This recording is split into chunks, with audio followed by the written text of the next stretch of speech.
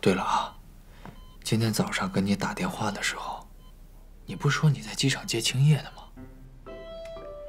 能不能有点个人隐私？有没有进展？哎，我觉得真的是挺奇怪的，摸不透他，对我忽冷忽热的。怎么想我完全摸不透。哎，我发现这方面我的情商跟智商都比不上你，你比我强太多了。哎，女人真的挺逗的，太神秘的物种了，搞不懂。我跟你说，哥，你呀，你别管青叶是怎么想的，你先问问你自己心里是怎么想的。你对他有感觉吗？嗯嗯。哎呀，不聊这话题，改天再说。照照镜子，看看你自个儿吧，憔悴的不像样了都，很多烦心事儿。还行吧，就是最近有点忙，这月底要去英国了。嗯，我们集团那个在英国分公司马上挂牌了。嗯，恰巧在这个时候，人许家彤请假了。他请假？为什么？这也没说原因呢。我也纳闷啊。你想我们在上海创业的时候，四十度的高烧，他都坚持来公司，一边打着吊瓶，一边听汇报。那生病请个假，这有什么异常吗？在我来说，反正不算正常。这么多年了，我从没见过他请假。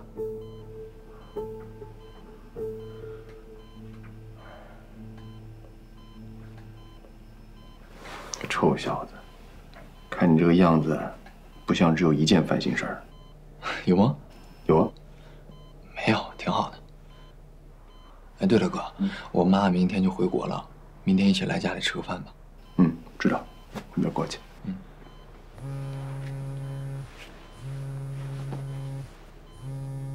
哥，我接个电话。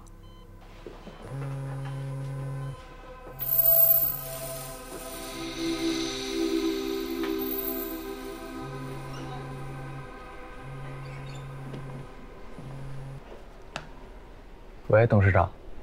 你在哪里？啊，我在疗养院看我爷爷呢。哦，董事长，您有什么事儿吗？你的报告我看了，有几个问题我要问一下你。啊，董事长，您在办公室吗？现在？在。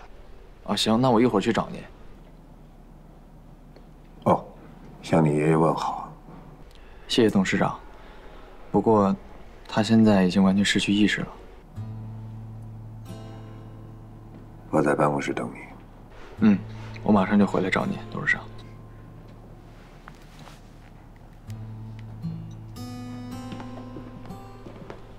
刚待一会儿就要走啊，这么着急？哎，我也没办法呀。这许军让我马上去公司一趟，不会出什么事儿了吧？事儿倒没什么事儿，但有点特奇怪啊。今天早上他突然对我们在英国投资的 BAT 项目产生了莫名的兴趣，可这之前他好像并没有这么大的好奇心。那个项目没什么问题吧？问题没有，我妈去英国也是为这个项目。现在市里、省里都比较看好这个项目。不过就是，哎，算了，三两句也跟你说不明白。那除了项目呢？许军这个人正常吗？还？你为什么这么问？我看你的状态喽，魂不守舍、心事重重的，这不像你风格。啊，我真有件事儿。什么事儿？就是。许家彤用了一个陌生的手机号跟我说，他这两天不来公司，然后许军也不知道家彤的去向。这很显然，许军现在根本就不知道家彤新的手机号码，你不觉得有点奇怪吗？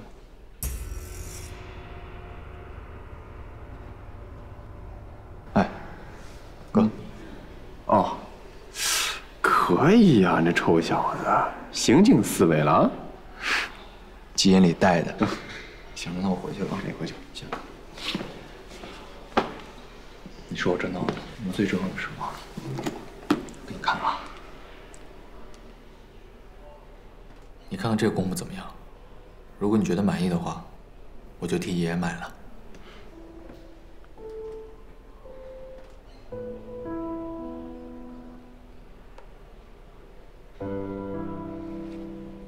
叔叔婶都看过了吗？他们看了，觉得还挺满意，还行。你放心，我已经货比三家了。我主要是觉得这个公墓它的各方面条件都还不错。好久。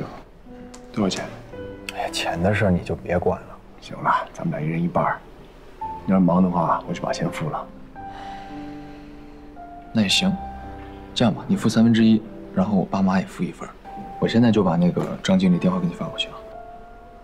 你把那链接发过来吧。嗯，行。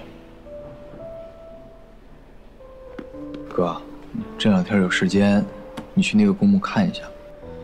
嗯，主要是看看我选的位置。你要是觉得不合适，你可以再选。我是实在忙得抽不开身，没时间弄公墓的事儿。行，回去吧，我再陪一会儿。行，我走了，哥。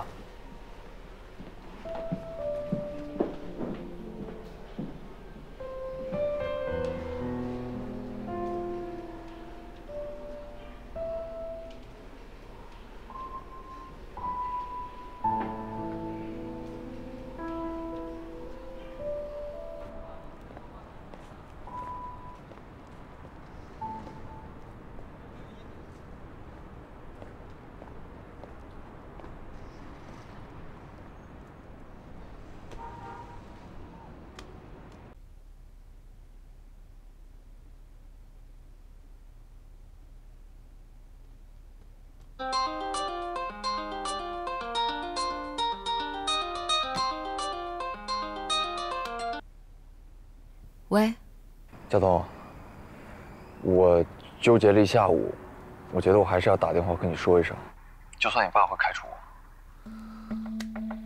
怎么了？他早上找我了，问了我一些关于 BAT 项目的情况。他说他仔细看了我做的贷款计划，他觉得我对这个项目是抱着一个谨慎乐观的态度。后来又具体了解了一下项目的情况。你跟他说了？我指的是。你当初反对意见的事情，我只是说了，跟那个帕丁顿枢纽这个项目相比而言吧，哎，你也知道，我又不会撒谎。然后你爸让我写一份 BAT 项目的风险评估报告，你写了？我跟他说了，我说如果我写了你会开除我。跟你爸说，如果我不写，他当时就能开除我。我是写完了他才让我离开公司的。那刚才他还给我打电话，让我马上去一趟办公室。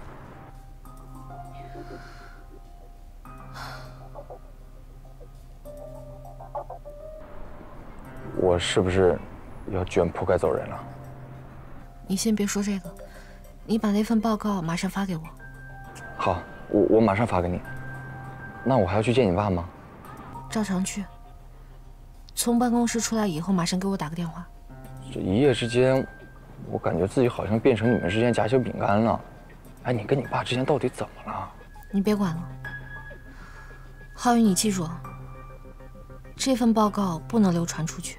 而且不能再给任何人看，听清楚了吗？好，我知道了。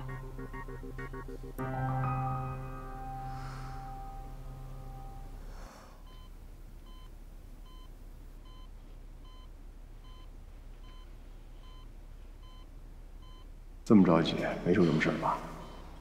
事儿倒没什么事，但有点特奇怪啊。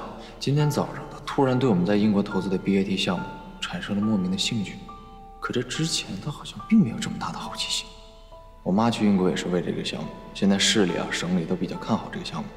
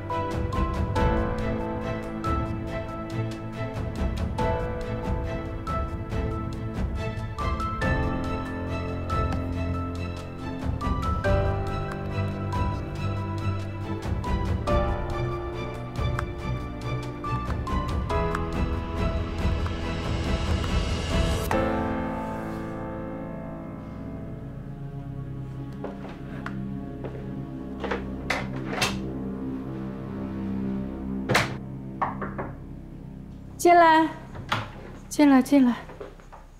来，奶奶，我爸他找了浩宇，写了一份风险评估报告，是关于 BAT 项目的。啊？我我怎么没听明白？我之前没跟您说过，其实，在英国的时候，浩宇已经发现了 BAT 项目的一些问题。之前他也不建议我们投资这个项目，是我逼着他去做的。现在我爸有了这个风险评估报告，一定会极力的阻止我们实施这个项目。在飞上海的飞机上，我爸也跟我说过，他对 BAT 这个项目一直有一些担心。现在他有了这个当筹码。一定会找您谈判的，您想好怎么说了吗？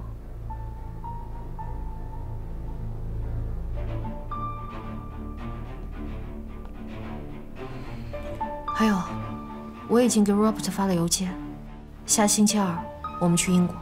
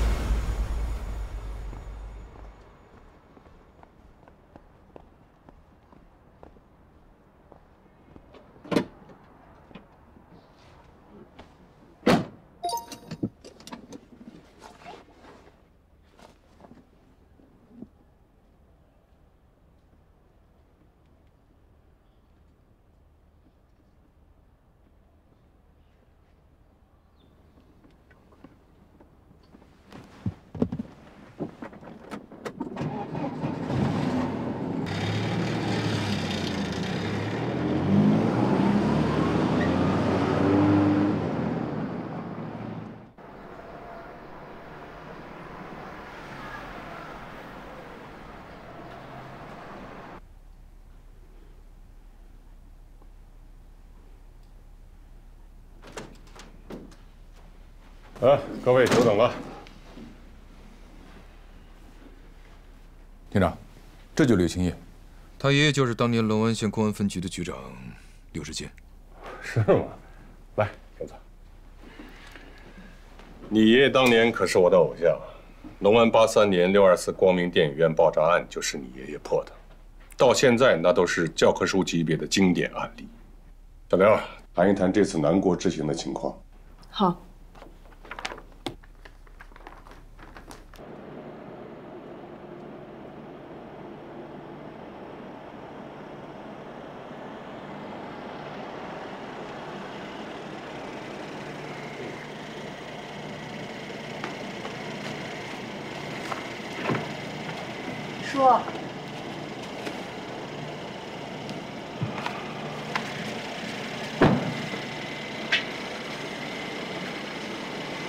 说，他们还没回来吗？没有。你去休息吧。叔，你要吃点什么吗？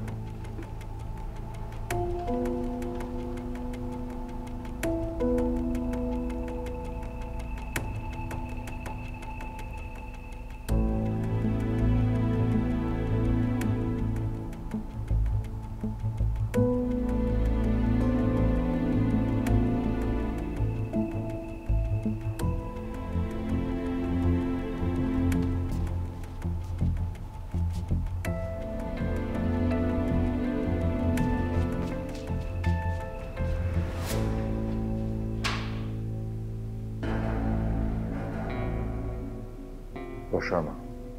没事儿。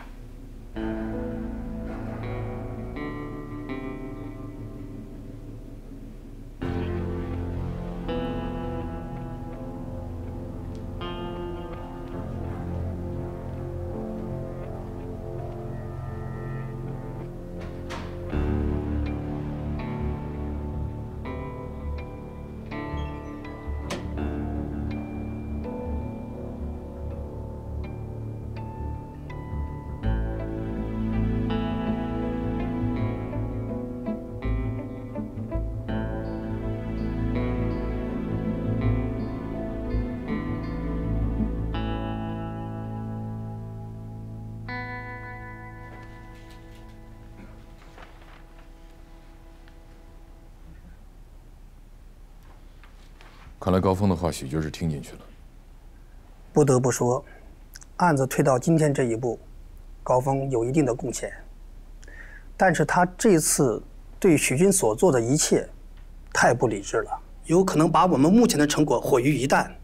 如果许军并不是他想象的那样单纯，如果许军也是整个阴谋中的一份子呢？分开，你的意见呢？从我和许军接触和交谈的情况来看，许军应该是个局外人。我认为高峰的判断是对的。从罗红英的尸骨被发现后，我们的调查一直很被动，对手对我们的情况一举一动是了如指掌。他们在上海对高峰下手，就说明他们已经知道，我们已经怀疑到徐家福身上。暗杀高峰失败，他们就有了防备之策。在南国的调查受挫，就已经很好的说明了这一点。我们没有让徐家富现行，我们也没能掌握赵月娥和龙兴集团卷入许家富案的实证，在没有找到更好的调查切入点的情况下，高峰的做法或许是个办法，但是里面确实有不可预知的风险。没有证据，没有证据，我们就无法对赵月娥进行监听监控。这个方案有没有效果？你们怎么知道呢？高峰的弟弟，也就是高四海的养子周伟的儿子周浩宇，是龙兴金融集团的总经理。周浩宇已经知道我们的计划了。没有，高峰没有告诉他。但是高峰有办法能从周浩宇那里探听到徐家的动静。如此说来，就目前的情势，我们能做的事情并不多呀。只要我们能掌握徐家府的蛛丝马迹，我们就有理由名正言顺地对赵月娥和龙兴展开调查。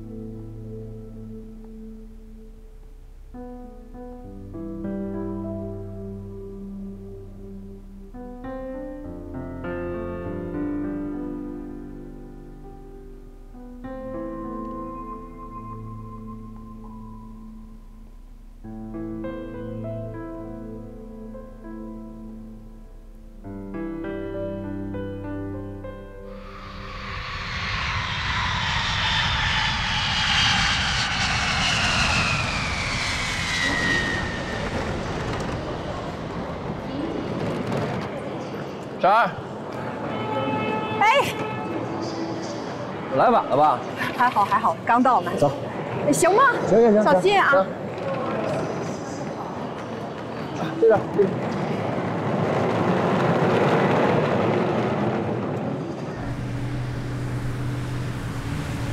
婶儿，英国之行如何呀？啊，印象深刻啊！你知道我本科是学英语的吗？我还以为自己英语挺不错的呢，结果到了 Manchester，那简直是……再说吃的啊，我有一天突然心血来潮，非常想吃面。嗯，找到一家评分四点五分的拉面馆，当他的面端上来的时候，我忍住没有哭出来。为什么？说好的浓汤拉面，结果吧，就是个清汤挂面。我要是自己在……酒店里泡一个方便面还比它味道浓呢。你看啊，婶儿，这就是明显的代沟。你说浩宇啊，听到是英国啊，他绝对是羡慕嫉妒恨。您呢，全是槽点。哎，那也不全是啊，人家有教养，素质高，懂礼貌。老牌帝国主义还是留下一些文明的。嗯，有道理。哎，对了，婶儿，您这回去英国就是为龙兴集团的事儿吧？对呀，龙兴要在英国投资嘛，他们要做内保外贷。内保外贷什么意思啊？我们银行术语，内保外贷啊，就是境内的银行可以为境内企业在海外注册的分公司，或者是参股投资企业做担保，由我们境内银行的境外分行给他们发放贷款。那优势呢？优势是什么？第一呢，就是跨境增信啊，通过内保外贷可以帮助国内企业走向国际市场，让他们获得海外的融资。第二个呢，是实现资金或者是资产的间接出境，在有钱出不去的情况下，像国内的有些企业，它可以用它的存款还有它的资产，在银行做抵押，然后呢，在银行得到授权。让境内的银行开立保函，由境外的分行给他们直接发放了贷款，那这样不就是做到了资金或者说是资产的间接出境吗？那风险呢？有什么风险？风险啊，最大的风险就是如果债务人有履约。导致实际的资金外流了，那这样的话，对中国国际收支还有人民币的汇率的稳定性会有影响。如果管理不慎的话，还会直接变成了资产转移的通道。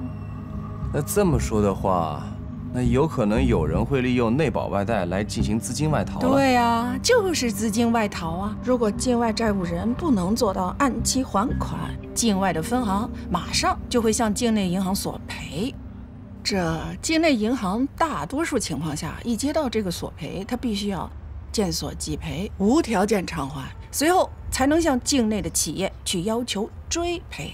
那这个赔付过程当中，就造成了资金的流失了。那龙兴集团是我们省的明星企业，我觉得他们应该不会做这事儿吧？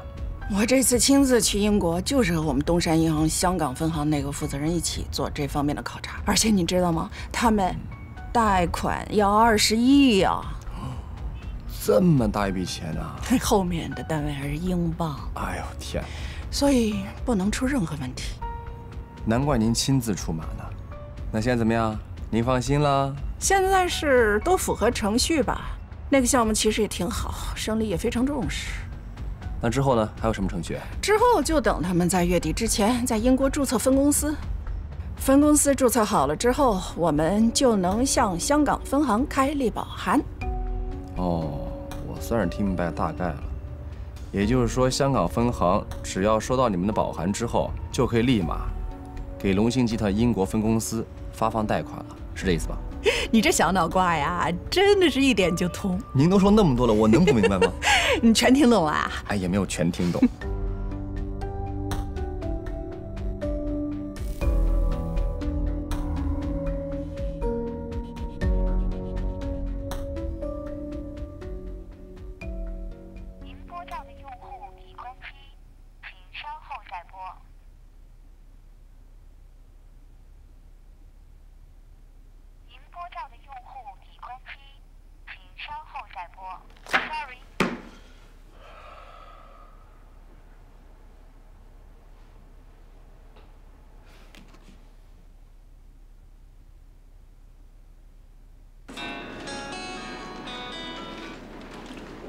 喂，董事长，你这两天跟彤彤联系了吗？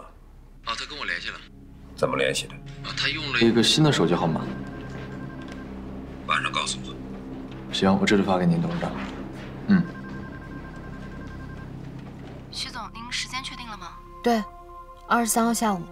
呃，徐总，那这次和你一起去英国的还有谁？我爸、周浩宇，还有邹凯他们三个。好的，那我这就给您订机票。我有电话进来，你先定吧，定好了跟我确认。好。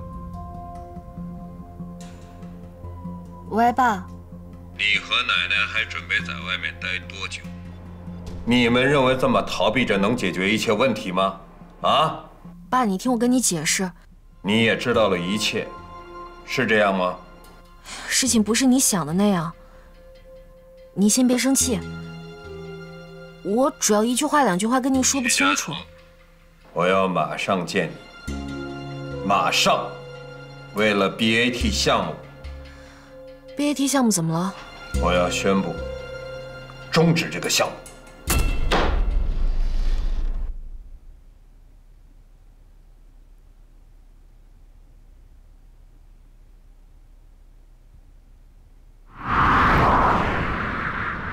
不是不是，他当然不会在报表中呈现的，因为你如果是还在还着利息，这个账不是坏账。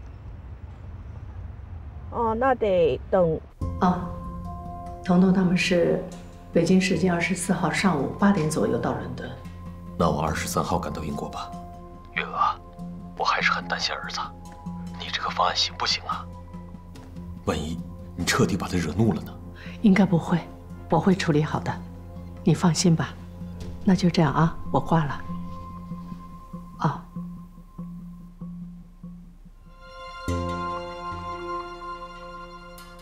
你告诉罗伯特，我们二十三号赶到英国。好的。奶奶，你想好怎么跟我爸说 BAT 项目的事儿吗？没问题，打电话让你爸过来吧。好，我们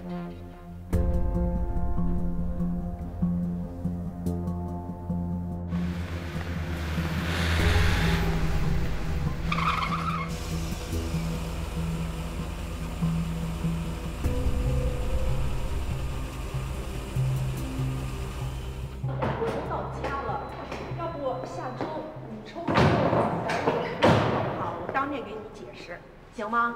好，好，好啊！再见。哦呀！哎，我来，我来，我来，是是是，我来。是。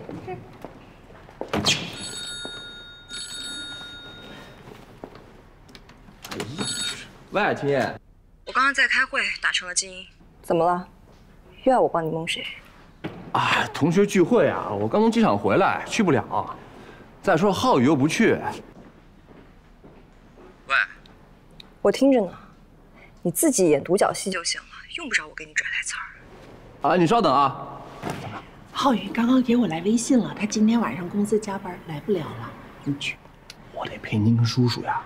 哎呦，家里人自己吃饭，什么时候都能吃啊？不是，不，问题是就俩同学回来，就聚一下而已，就那么简单，人不全的。青叶对你有意思，浩宇都告诉我了。哎呀，十儿八字没一撇的事儿，行吗？谁让你去？你去。喂，金叶，那我过来一趟吧。在哪儿？我在刑侦大队。嗯，行行行行，再见啊。拜拜。哎呦，婶儿，哎呦我哎婶儿。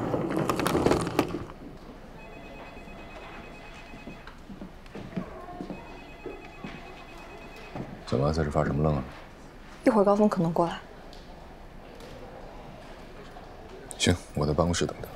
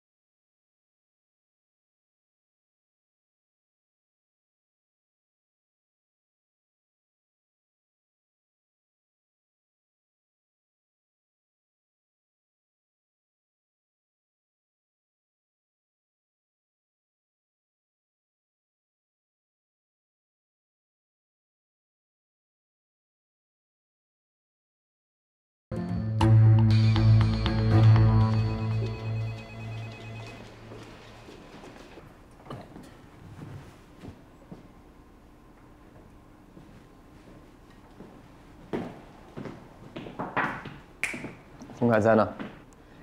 听说你要来，他推到重要的事儿，特地在办公室等你。没想到你真是个喜庆。还不是被你逼的。本来想让你配合一下的。国内的脱口秀节目不请你当主持，真是可惜了。你在给我做职业规划吗？走吧，我带你去见他。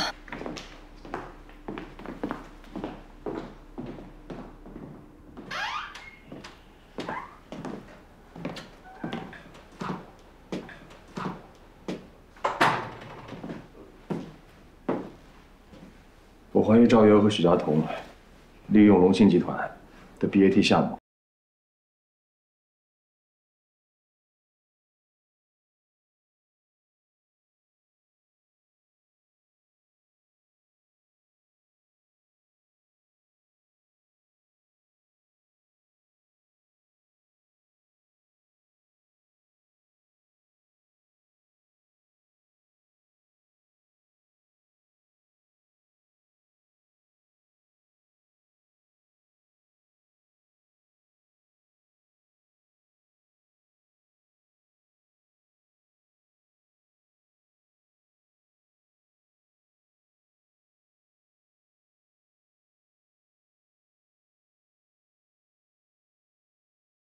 你先出去，我和你爸爸说。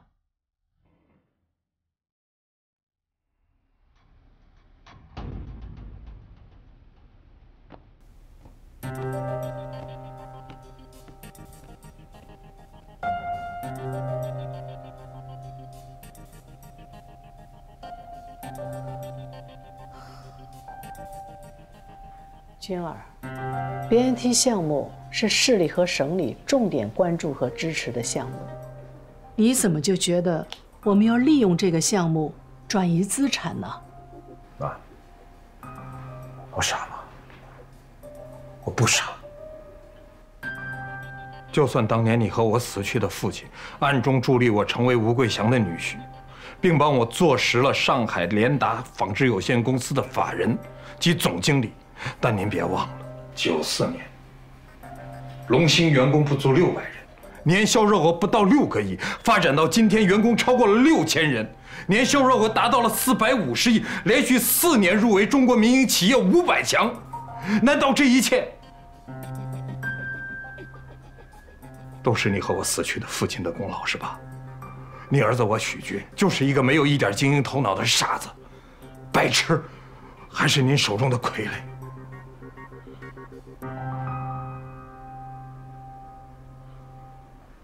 你说话呀！我到现在才明白，为什么罗红英的尸骨被发现后，你要匆匆召开董事会，在不跟我商量的情况下，任命彤彤为集团的总经理。你接着说。你怕了，你心虚了，你怕当年的事情会败露出来，你怕警方会查到徐大身上。查到我死去的父亲，怕当年的事情一点点都播出来，所以你情急之下想到了彤彤，想到了他在英国的资源，想到了海外投资，你想一点一点的把龙兴的资产全都移到海外去。另外还有我那个死去的父亲，不，他没死，他就在海的那一边。他活着，他就在那边坐着。妈，他跟你遥遥相对。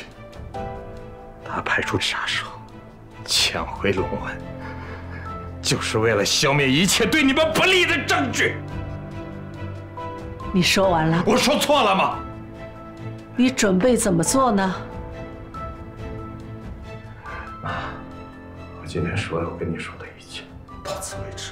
我也只会跟您讲，但是我不想再看到任何人因为这件事情去流血。徐达已经死了，我烦他，我讨厌他，但我不希望他死。他是我弟弟。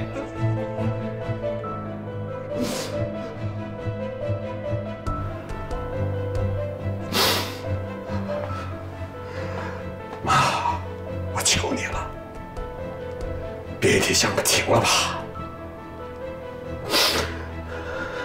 龙兴是我的，是我许军打下来的江山，我不允许任何人把它毁了。妈，就算是你也不行，不行。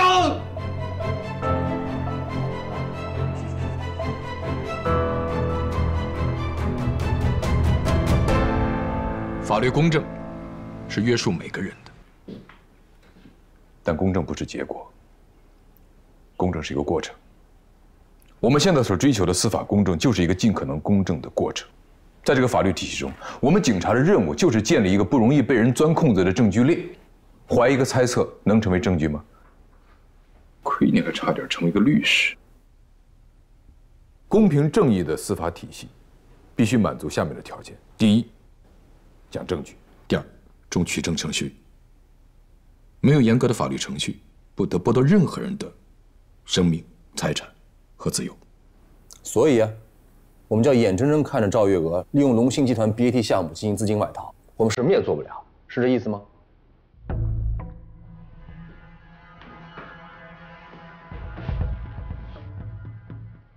要是赵月娥他们真的把龙兴集团的资产转移到了国外怎么办？所以说你并不认同我所说的这些观点是吗？逻辑上是通的，可证据呢？就凭沈长英说内保外贷有导致资产往国外转移的风险，可沈长英也说了 B T 是个好项目，再加上有市里省里的大力支持，我怎么跟上头讲？就凭你说有这个可能，就把 BAT 项目封杀了，可能吗？那这样，您呢就静静在这儿待着，我去找证据。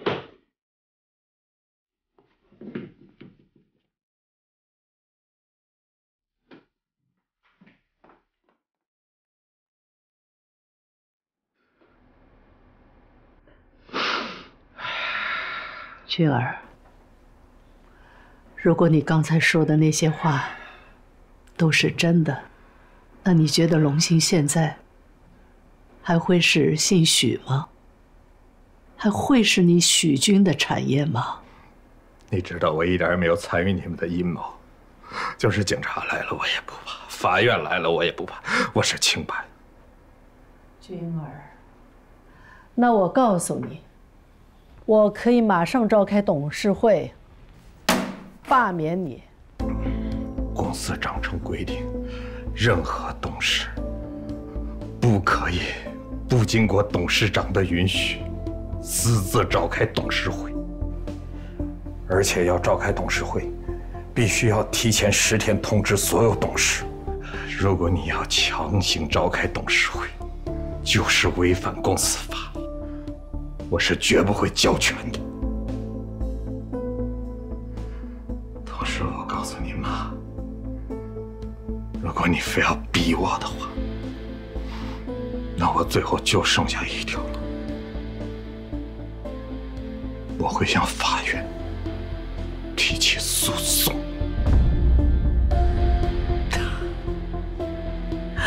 君儿，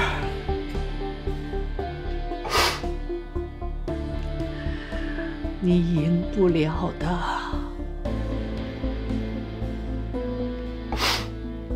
你不交权，你还要上诉法院，那龙兴集团就成了群龙无首的境地了。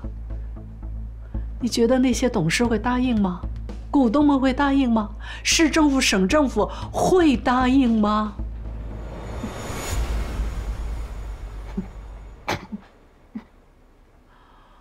再说你的父亲，九五年，高四海、刘志坚坚决要求开棺验尸，我在你的说服下，顶着巨大的耻辱，同意了。高四海的养子周伟，在你父亲的尸体上取骨，在你身上抽血，那全过程都有警戒，你忘了吗？你和你父亲的 DNA 亲子鉴定，他们做了两遍，你现在告诉我，结果是什么？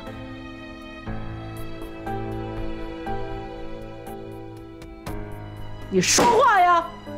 匹配，匹配，是完全匹配。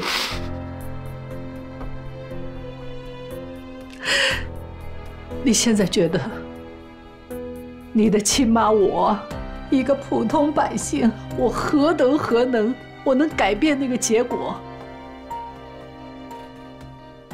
你那么信任高峰，高峰是怎么跟你解释的？可杀手是怎么回事？他为什么要杀杨三水和许？许达连二十六个英文字母都认不全，你又匆匆忙忙的把他弄到英国去，不就是为了警察抓不到他，不能调查他吗？